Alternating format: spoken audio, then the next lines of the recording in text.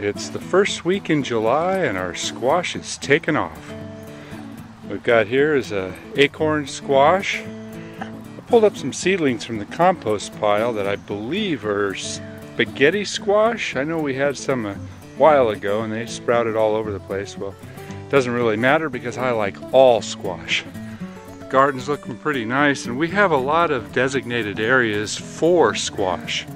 One thing to remember about a squash plant is they take up an awful lot of real estate. So we have some squash planted over here.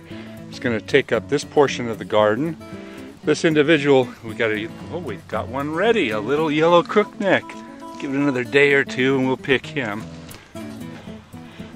We've got uh, a zucchini. Now normally I plant two or three zucchini. They can get overwhelming and they can really take off. Oh, we got a zucchini ready to pick too. That's great. We'll pick him tomorrow as well. Have a zucchini dish. The thing about some of these squash plants, especially the zucchini and the yellow crookneck, is you have to pick them when they get to the right size. If you wait until they get too large, then you have a really seedy, not so tasty squash to eat. Now some people like to stuff the zucchini, and myself included, but more often than not, I like tender young zucchini, and you know what? The more you pick, the more they produce. So, middle of July, garden's doing really well. Oh, we got cucumbers over here. They're a type of squash. We've got them trained to grow up this trellis, a bit of a sweet pea coming up there with it.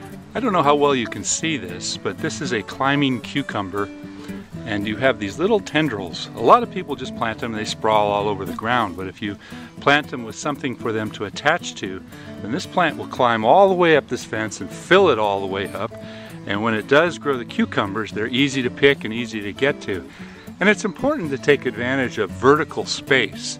Some plants that'll sprawl all over the ground, if you're able to get them to grow up onto a trellis or onto a fence, then you can capitalize on all that vertical space and you end up with a much, much better plant. So back to the squash here. If you haven't got squash in the ground, it's not too late, but uh, they're starting to take off.